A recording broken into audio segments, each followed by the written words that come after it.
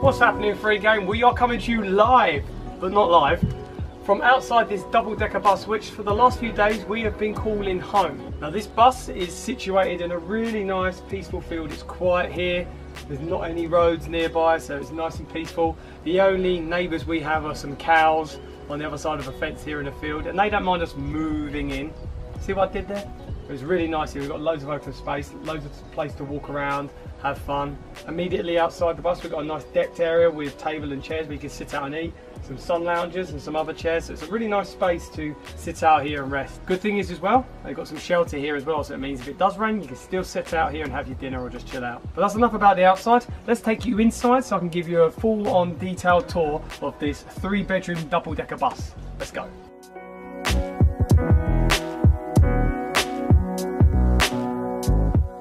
So this is Bertie the bus. That's right, that is the official name of this bus, Bertie. What a cute name, I love Bertie. This bus is obviously decommissioned, but a long time ago would have carried hundreds, thousands of passengers on multiple journeys around a city or town somewhere.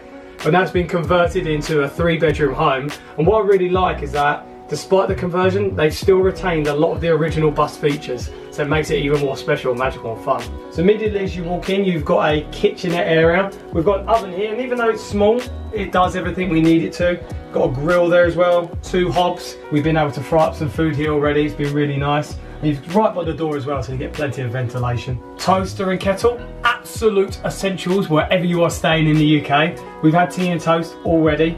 For storage, there's a big deep drawer here for all of your cutlery, knives, forks, all of the bits and bobs you need around the kitchen. And there's things as well to use for the barbecue, which is really handy. Across from there, there's an electrical box in here, so if anything does trip, you can actually go in there and restart it, again, without any problems. And I like that they have these little areas here which have been left for putting tickets in or holding things in as well. It's nice little touches like that which make this really special. We've got a decent sized sink here. It's been very practical for us so far. We've got the water plugged straight into the mains here and also electricity's routed into the mains but there's also a solar panel on the roof as well which is really cool which means you know we're getting renewable energy which is really good for the planet. We like to look after the planet. I really like this area as well, even though this isn't an original feature of a bus, well I don't think it is, but having all of these pipes for this shelving unit, I don't know, it's just a really nice touch. It makes it look all really rustic, like an old bus kind of look I guess. We've got a decent sized fridge as well. We did a big shop recently as you guys may have seen, so we've managed to get everything we need in here. So it's nice that you've got a good amount of storage. Across from there we've got additional storage with our plates and bowls and everything here, bread bin, other things you need for cooking, preparing food, and also it's good for any additional food prep you want to do if you're doing a bigger meal. What I really like about this area as well is one of these original bus features I've kept here. Not just the no smoking sign, but the bus stopping sign. Do they still have these on buses? I'm, I feel like I haven't been on a bus or I haven't seen one in ages. Comment below if they still have these. This one hasn't even lit up yet, which is weird considering we're stopped the whole time. So this area in the middle I really like because you've got so much space here. It's been really nice just to chill out and rest here with a cup of tea or even a snack. I really like as well that the bus still has these original seats, reupholstered obviously, but they're the same seats you would have had on the actual bus itself. I don't remember ever them facing across from each other though. Always facing forward, maybe some facing back. Yeah. So up to the back of the bus, and we all know the back of the bus is the coolest. Comment below if you were someone that always went to sit at the back of the bus because you think it's the best place to sit. We will be going upstairs to the back of the bus, which is even the extra cooler place. But this area, we've got a nice electric fire you can put on if it gets too cold, and a really, really nice seating area where you can sit around and eat the food or just chill out. This area is huge and the table is huge as well and it makes I don't know, it almost gives an illusion like this part of the bus is wider or bigger. You could probably get 10 people sat around here all at once. In fact, on this entire bus, with this seat in here and a seat in there in the middle and the beds upstairs, you could probably sleep 10 people here in total. There's some nice little touches as well. The emergency exit door is still available, but you can't actually get out of it. So if there is an emergency, probably just best to go out the front door. So I've shown you all of the downstairs living area, and now we're going to go upstairs to the top deck, and I can show you where all the bedrooms are. Come on. How crazy is this? Going upstairs on bus stairs. This is so cool, man. You've got the bell here as well, which has been pressed again and again and again, but it doesn't make the sound. As a kid, didn't you always want to do that? Or if you are a kid, don't you enjoy pressing that bell? But only press it when you need to get off. No irresponsibility. Here, however, press it as much as we want.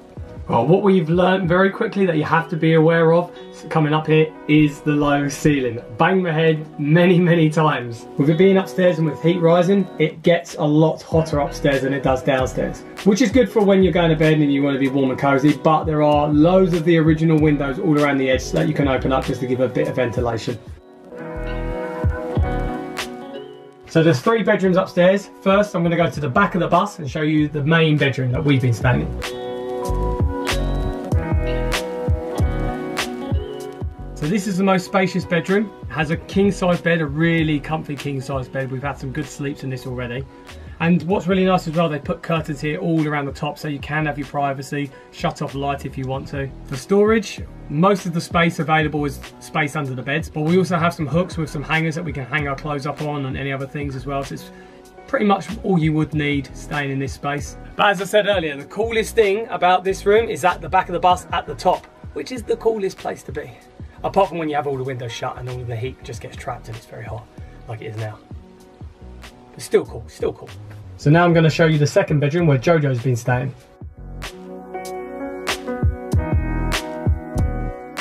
So with this room, not as much space, but enough space to get a double bed in so you can get two people to sleep in here. But there is good storage under the bed and there's hooks on the wall as well. And there's even a plug-in heater as well if you want a bit more extra heat.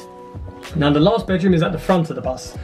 As I said, as I was a kid, I liked the back of the bus. I felt that was a cool place. But now I'm an adult, I kind of like the front of the bus. It makes it feel like you're driving it. Do you know what I mean? Comment below if you do that. I'm sure you do. Please don't leave me alone for a game. You must do.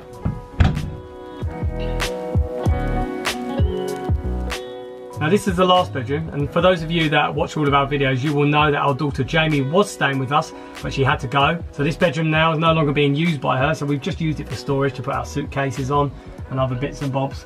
But this is the front of the bus, this is the cool place. Now even though this room has the least amount of space and the double bed is just about squeezed in there, I would say it probably has the best view of all rooms on this bus. It's so nice, you can see our I look out to the fields. But waking up to see that is going to be a good start to the day. And also the good old bus stopping sign is up here as well, just in case you're not aware that the bus is stopping. So after seeing most of the bus, you're probably wondering two things. One, where is the bathroom? And two, What's with the driver's cab? Well, I'm about to answer both of those questions. Because the driver's cab is the toilet. That is right. Come and check this out, guys.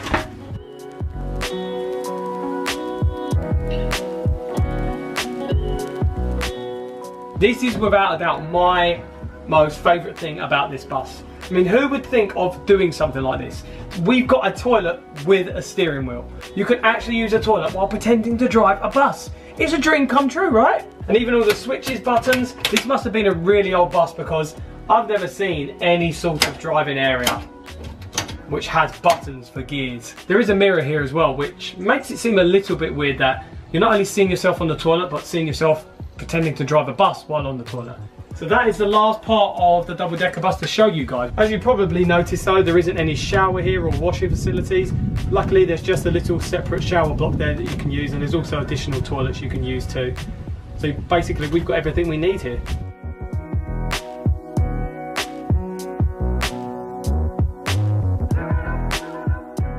So that's it guys, that is our tour of this lovely double decker bus, Bertie the bus.